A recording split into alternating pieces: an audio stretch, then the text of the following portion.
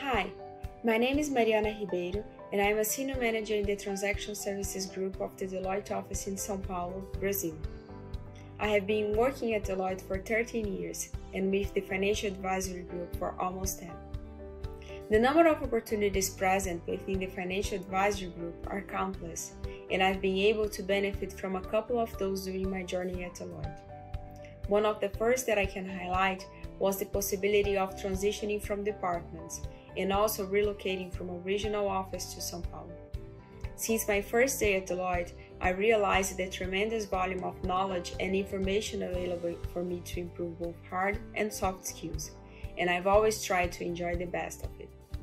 About five years ago, I got interested in the mobility program and started to discuss with the leaders of my group in Brazil how I could further accelerate my knowledge through the program. The process went very smoothly, and six months after the discussions started, I was landing in Boston. During this experience, I had the opportunity to get to know amazing people. I had a wonderful reception from the transaction services team and could boost my knowledge and experience in a way that any other opportunity wouldn't have benefited me. The exchange of cultural practices and different situations you are exposed to are unmeasurable. Back to Brazil, I can surely say that my home firm also benefited from my experience.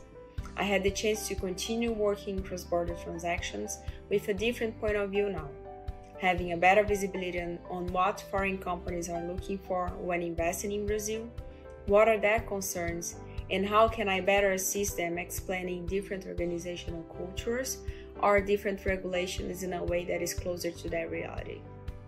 In respect to the future, I'm excited about the opportunities I have in the short and medium term in Brazil, and I'm looking forward to continue supporting the local team with the challenges we currently have.